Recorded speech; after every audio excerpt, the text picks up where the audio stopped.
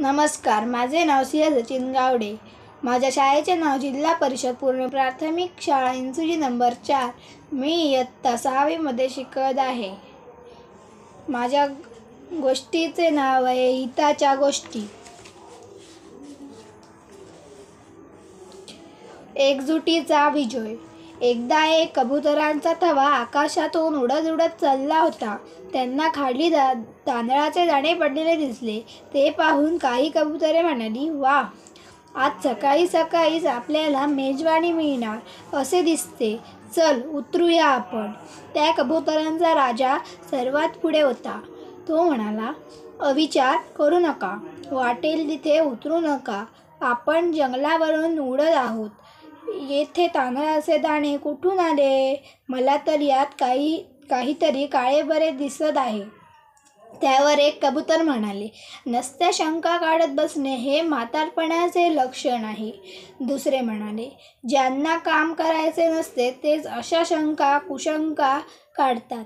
तिसरे म्हणाले या जगात साहस केल्याशिवाय लाभ घडत नसतो. चौथे चौथे म्हणाले समोर सुंदर पांढरे दाणे चमकत होत आहेत. पोटात भुका लागल्या आहेत. आणि तुम्ही वेड्यासारखी चर्चा कशाला करत आहात? चला उतरा खाली राजाने न ऐकता तो सगळा थवा खाली झेपावला. आणि दाणे टिपू लागला. राजाही त्यांच्याबरोबर उतरला. तो मनात म्हणाला लोभामुळे विचारशक्ती नाहीशी होते आणि सर्वनाश ओढवतो. म्हण म्हणतात ते अगदी खरे आहे.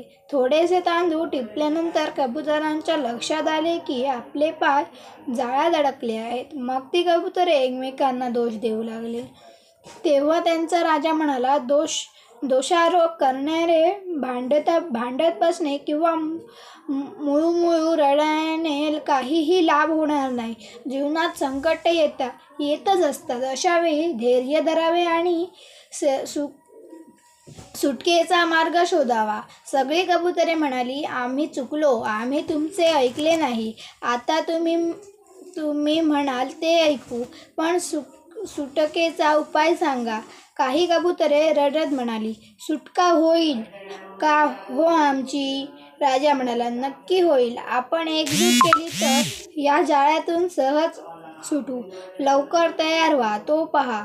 परधी इकडेच येत आहे ज्या परध्याने जाळे लावले होते आणि तांदूळ टाकले होते तो आता आतापर्यंत